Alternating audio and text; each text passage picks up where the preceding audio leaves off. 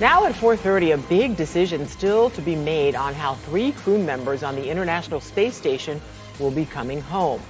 The trio, uh, their time aboard the ISS, scheduled to end in just a few months. NASA and the Russian Space Agency provided an update on that leak that damaged a capsule attached to the station. News 6's James Sparvero has the latest. How's it going, Josh? Great.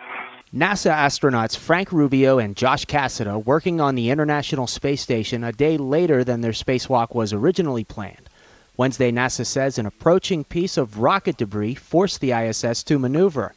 It was the second time in a week a spacewalk was postponed. Streaming particles. And NASA says space debris could also be to blame for striking Russia's Soyuz capsule, puncturing a hole on the spaceship less than a millimeter wide and leaking coolant fluid. A week later, NASA and Russia's space agency Roscosmos say they're still working to confirm the cause of the leak and determine if Soyuz is safe for its crew.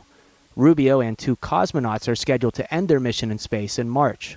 We don't have final decision. In a teleconference Thursday, managers say it's possible another Russian capsule could launch a couple weeks earlier than planned and without a crew to make room for Rubio and the cosmonauts. They're looking at late February to send up the next Soyuz vehicle. If it's decided that it's an uncrewed Soyuz, Roscosmos would plan to return the current Soyuz on orbit and collect the data so they can use that for uh, future evaluations of missions.